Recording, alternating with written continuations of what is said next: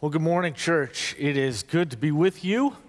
Whether you're here in the sanctuary, whether you're joining us from the comfort and safety of your own home via our live stream or listening on the radio at KTCU, uh, it is good for us to be together, and we give thanks for the technology that allows us to do that. We are this Sunday, as we are every Sunday, one church in many locations. And so it's good for us to be together in this way. We are in the midst of a series that we're calling Follow Me. And in this series, we're looking at how do we close the gap between the Christians that we are and the Christians that we want to be. How do we grow in our walk with God? We're looking at five different disciplines, what, what we have identified as essential practices that, when practiced in Jesus' life and in the lives of Christians over the last 20 2,000 years uh, have transformed them and transformed the world around us. We started by talking about worship, the importance of gathering together in the community of faith each Sunday. Uh, Shannon talked about prayer in week two and challenged us, challenged us to pray five times every day, to say the, the Lord's Prayer three times, and then to say at least two other prayers in the, in the morning or in the evening to be able to say, even if all we can muster in that moment is thank you. And that is enough. Last week we talked about study, we talked about the importance of growing deeper in our faith and how that we go about doing that. Today we're going to look at the fourth essential practice of the Christian life, and that is the discipline of serving God. Because over and over again in the scriptures, over a thousand times, we see the word serve or service or serving. It is a thread that runs throughout all of scripture that talks about the importance of our relationship with God. For instance, Joshua 22, verse 5, Joshua gathered together the children of Israel and reminds them of what they are to be about. Listen to this word love the Lord your God. We see that notion of worship there, don't we? Walk in all of his ways. We talk about what it means to follow God, to walk with God. Love the Lord your God, to walk in all of his ways, to keep his commandments, to hold fast to him, and to serve him with all of your heart and with all of your soul. The second text that I want us to think about and look at this morning is from the letter to the church in Ephesus. As I mentioned a couple of weeks ago, we call it the letter to the church in Ephesus, but it probably wasn't a letter, it was more likely a sermon. And it wasn't just to the church in Ephesus, but scholars now believe that it was directed towards a number of churches in the area. And so, in that way, it's also directed to us. And so I invite you to listen to this word now from Ephesians chapter 2. Today's reading is from Ephesians chapter 2, verses 8 through 10. Here begins the reading. For by grace you have been saved through faith, and this is not your own doing, it is the gift of God, not the result of works, so that no one may boast. For we are what he has made us, created in Jesus for good works, which God prepared beforehand to be our way of life. Here ends the reading. The word of God for the people of God.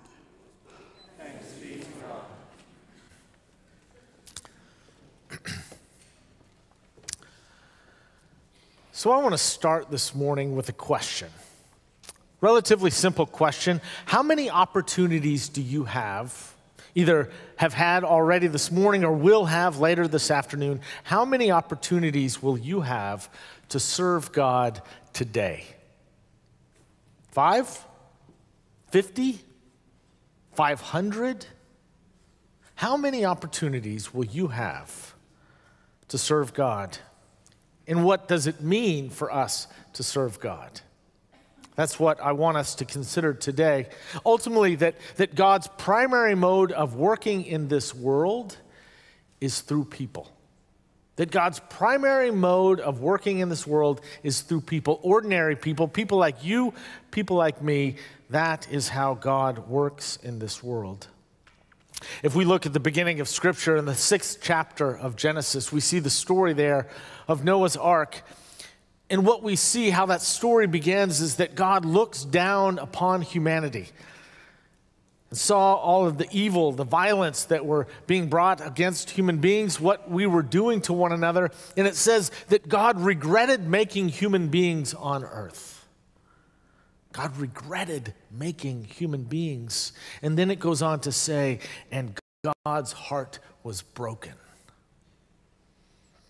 That verse has always moved me.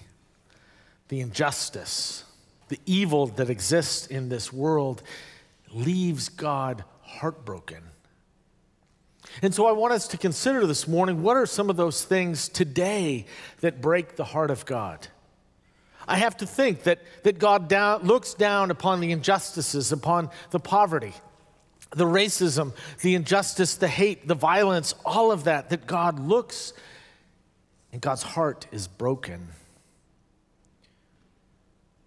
Back in the 1970s, there was a missionary by the name of Bob Pierce who famously prayed this prayer every day Let my heart be broken by the things that break your heart, O God. When I think of this, I think of the prophet Isaiah, who was taken up to the throne room where he was given this vision where uh, Isaiah sees God and, and God says, Who will go forth from me? Whom shall I send?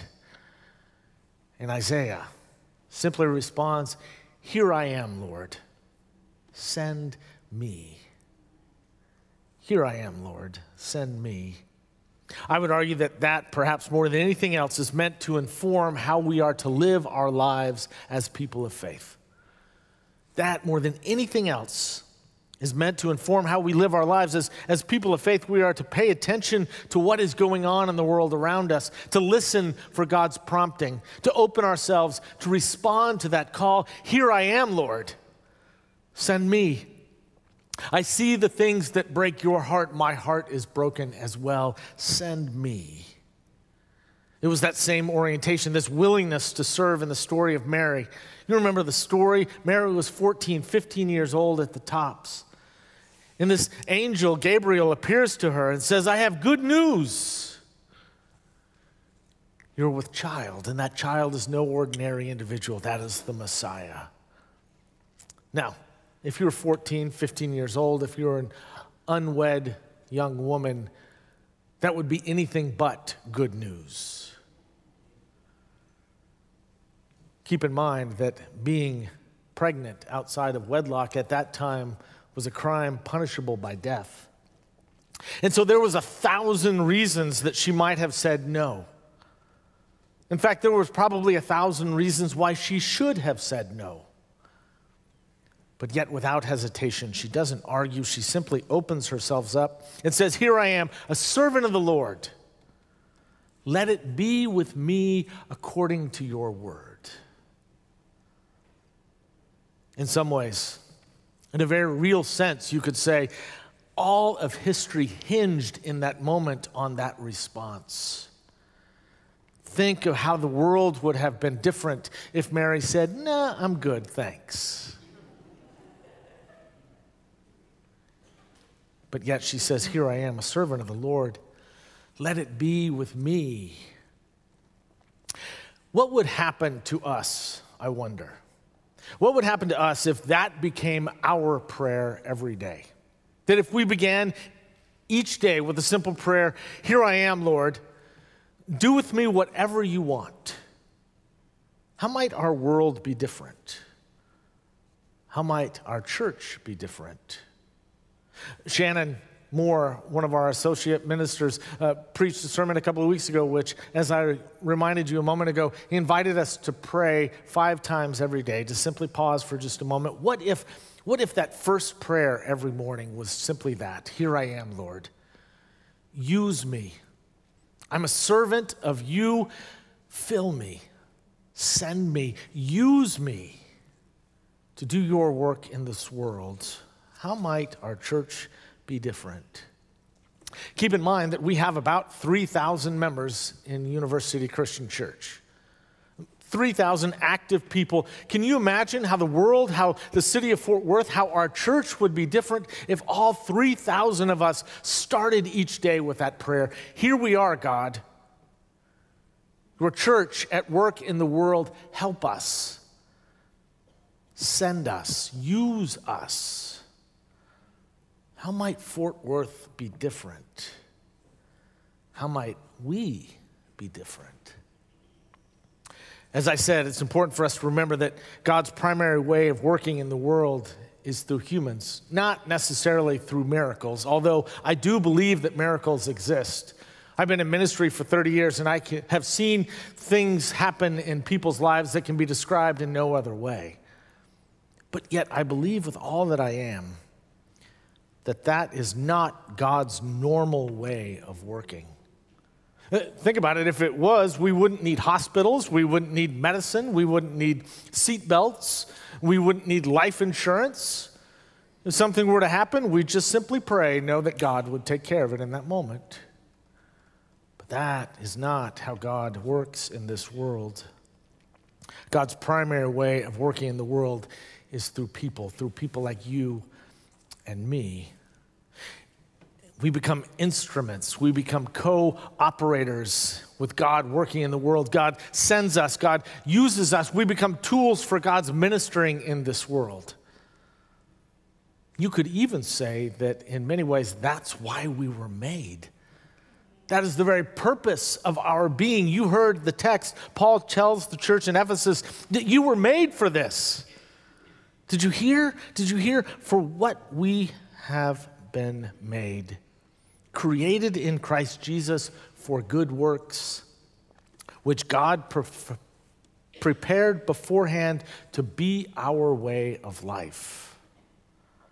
To be our way of life. Paul is not saying that it is through those good works that we are saved. No, at the beginning of the passage, he talks about how we are not saved by works, but we are saved by grace. And so our good works, our serving in this world, is to be the response to that grace.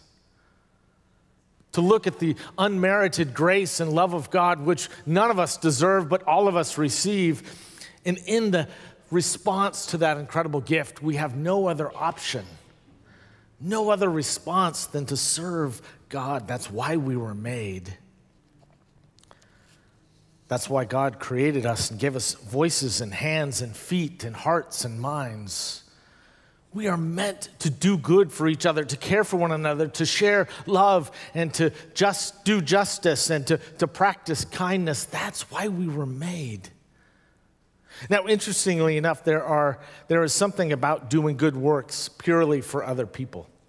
Uh, not for anything that we might get in return, that actually blesses us and heals us.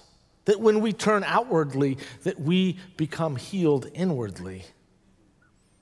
Study after study shows this, not necessarily why we do it, but just a side benefit. That when we care for others, when we serve each other, when we get out of our own selves, it lifts our spirits. The Mayo Clinic, a number of years ago, compiled a, a ton of data from studies about the, the benefits of serving God by volunteering. And they found that volunteering reduced the risk of depression, that those that served were more mentally and physically fit and had lower stress levels. There was another study published by Carnegie Mellon University that found that, that Adults over 50 who volunteer regularly have lower blood pressure than those that did not. The scientific evidence is strong that serving others is good for our health.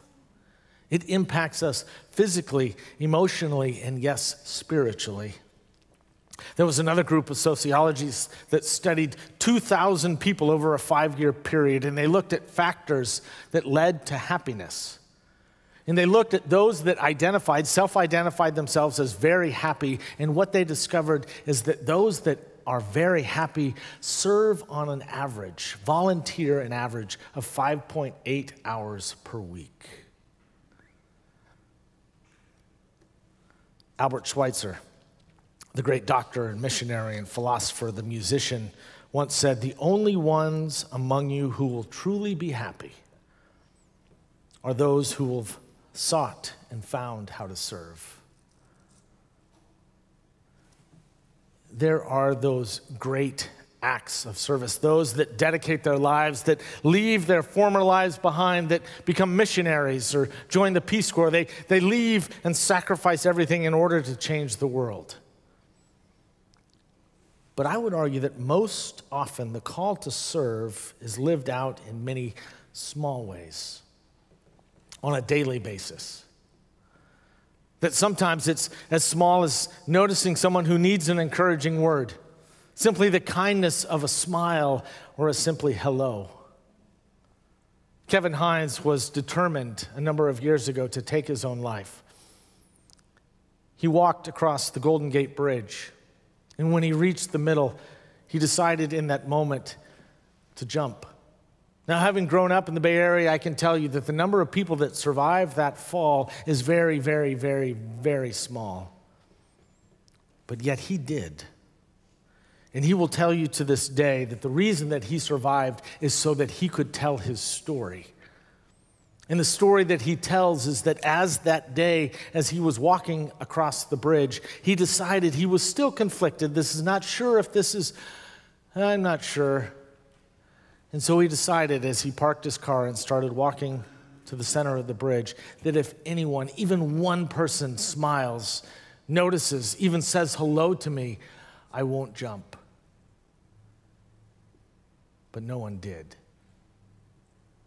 Only reinforcing the fact, his idea that no one cared about him. You see, his story reminds us that acts of service, that kindness, the way that we are meant to, to, to care for one another on a base, daily basis, doesn't necessarily involve work that is difficult or complicated. Sometimes it's easy as, as paying attention to those people around you, simply making eye contact, offering a simple smile. Do you remember what, do you remember what Mother Teresa once said? There are no great things in this world anymore, just small things done with great love. Here's what I believe that what it takes more than anything else is simply a willingness to be interrupted. A willingness to be interrupted. I don't know about you, but I want more than anything else for my life to be about those acts of kindness, compassion, those acts of service. But the truth is, I'm busy. I got stuff to do. There are times when I can feel the weight of the world pressing down on me on those things that I have left to do, but yet have left undone. Does anybody else ever feel that? Like you're burning the candle at both ends.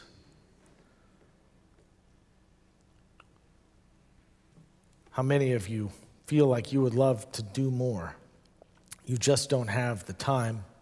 Or if you run into someone uh, who needs something, but you're so busy, you're so preoccupied that you don't even notice you don't even notice you're not paying attention, or if you do notice and you think, boy, that's something that that person needs, I wish that I had the time to give it to him. Do you remember the story of the Good Samaritan? Jesus tells a story about this man who was beaten and robbed and he was left to die on the side of the road. And a couple people come walking by and they notice him, but they just keep walking past. Do you remember who they were? They were deeply religious people. They were too busy to stop and help. And the one who did, the one who did, who was probably just as busy as the other two, but, but saw that man and knew in that moment that this matters more than any of the other busy things that I have planned to do with my day today. We've got to be willing to pay attention. We have to be willing to be interrupted. Monday night, one of our ministers, Jessica Vaqueta, got a phone call from one of our members of our congregation, Meg Pitts. Meg is a flight attendant for Southwest Airlines, and over the last several months, Southwest has been instrumental in making extra flights to fly refugees from Afghanistan from one place to another. She has been so moved by this, Meg has, that she started volunteering with refugee services. Meg called JV and said, there's this situation. We could use some help. There's a family of 11 that are arriving tomorrow. We, we thought we had a place for them to stay. It's hard to find an apartment that'll house 11 people. We thought we had one, but it fell through at the last minute. Is there anything that University Christian Church can do to help? JV, who I'm fairly certain had a busy week planned already, started making phone calls and sending texts. Volunteers started coming out of the woodworks, and pretty soon, pretty soon we welcomed this family into our church home. They arrived on Tuesday. And since then, we have done such good work that they sent us another family yesterday. And so now we have 18 refugees living for a few days in our house, God's house.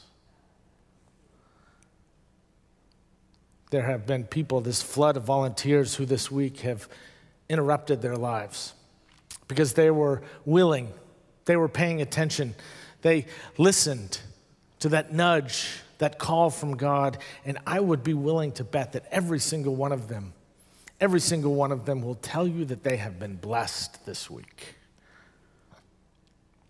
So here's what I want to say you have to be paying attention. You have to be willing to be interrupted. And what you will find in those moments is some of the most meaningful moments of your entire life.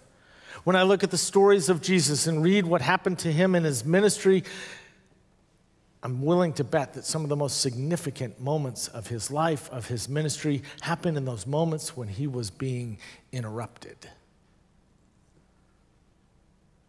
How would your life be different if you were more intentional in your pursuit of the practice of serving God by serving other people?